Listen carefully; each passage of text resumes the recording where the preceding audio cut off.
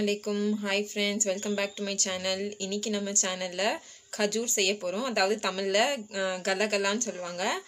Sweet கலகலா செய்ய போகிறோம் so அதுக்கான இன்க்ரீடியன்ட் சொல்கிறேன் வாங்க பார்க்கலாம். ஒன் கப் கோதுமை மாவு ஒன் கப் மைதா மாவு ஒரு கப்பு சர்க்கரை இது கசகசா. இது வந்து ரோஸ்ட் பண்ணி வச்சுருக்கேன். டால்டா ஹண்ட்ரட் எம்எல் இந்த மாதிரி மெல்ட் பண்ணி வச்சுக்கோங்க.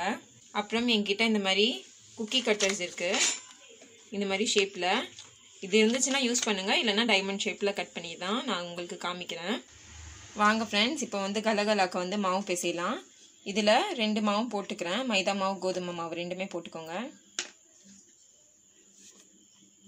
அப்புறம் சர்க்கரையும் போட்டுக்கோங்க. இது நல்லா மிக்ஸ் பண்ணிவிட்டு டால்டாவையும் போட்டுக்கலாம்.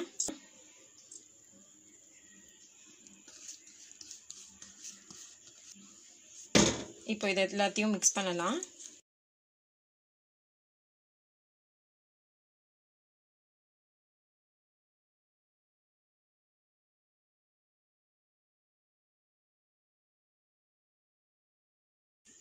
இப்போ இதில் லைட்டாக கொஞ்சோண்டு தண்ணி ஊற்றி மிக்ஸ் பண்ணலாம்.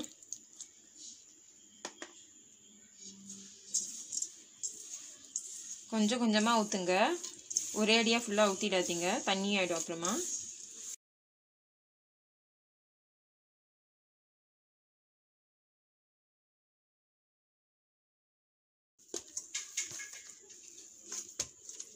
அவ்வளோதான் இந்த மாதிரி டைட் டோ செய்யணும் இப்போது மாவை திரட்டி எடுத்துக்கலாம்.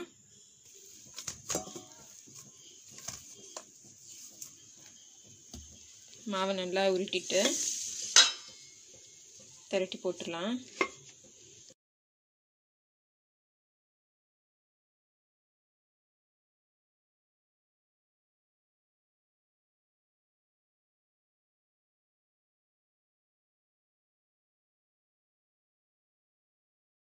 ஒரு இன்ச் அளவுக்கு இந்த மாதிரி திரட்டுங்க. கொஞ்சம் திக்னஸ் இருந்தால் தான் நல்லாயிருக்கும். இப்போது இந்த கசகசாவை மேலே சும்மா ஜஸ்ட் இப்படி தூவி விட்டுருங்க. தூவிட்டு ஒரு தடவை திரட்டி விட்டுருங்க.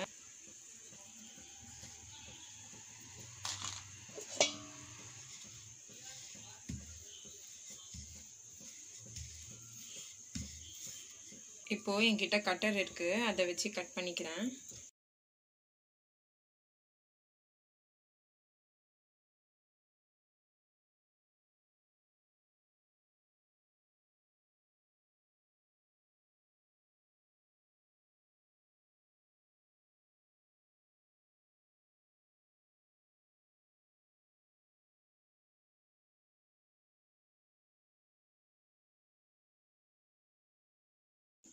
மீதி இருக்க மாவையும் இந்த மாதிரி உருட்டிக்கோங்க. உருட்டிட்டு திருப்பியும் திரட்டிடலாம்.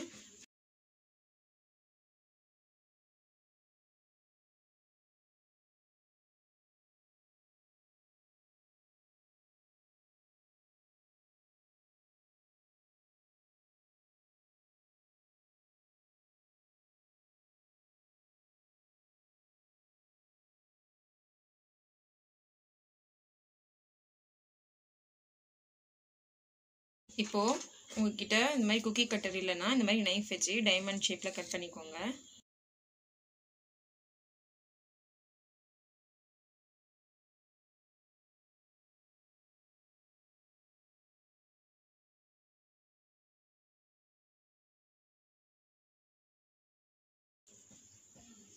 பாருங்கள் இந்த மாதிரி டைமண்ட் ஷேப்பில் கட் பண்ணி எடுத்துக்கோங்க. நான் மாவு திரட்டும் போதே எண்ணெய் வந்து சூடு பண்ண வச்சுட்டேன். இப்போ நம்ம பண்ணது வரைக்கும் நம்ம ஃப்ரை பண்ணி எடுத்துக்கலாம். எண்ணெய் நல்லா காஞ்சிருச்சு. இப்போ நம்ம ஃப்ரை பண்ண போட்டுடலாம்.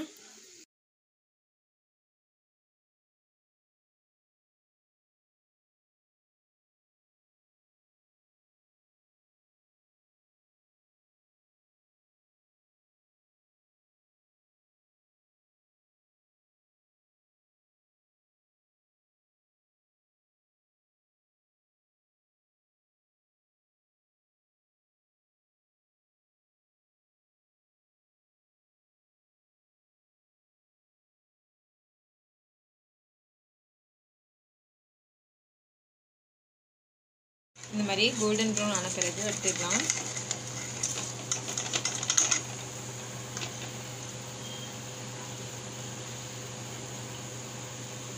இதே மாதிரி எல்லாத்தையும் ஃப்ரை பண்ணி எடுத்துக்கிறேன். அவ்வளோதான் ஃப்ரெண்ட்ஸ் கலகலா செஞ்சு முடிச்சாச்சு.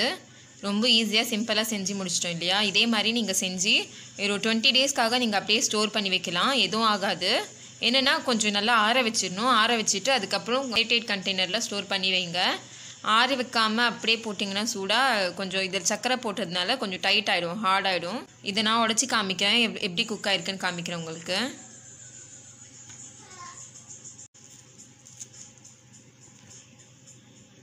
ஸோ இதே மாதிரி செஞ்சு பாருங்கள் இந்த ரெசிபி பிடிச்சிருந்துச்சுன்னா லைக் பண்ணுங்கள் ஷேர் பண்ணுங்கள் கமெண்ட் பண்ணுங்கள் அண்ட் மறக்காமல் சப்ஸ்கிரைப் பண்ணுங்கள் இதே மாதிரி இன்ட்ரெஸ்டிங் ரெசிபியோட உங்களை அடுத்த வீடியோவில் சந்திக்கிறேன். டில் தென் தேங்க்யூ பாய் பாய்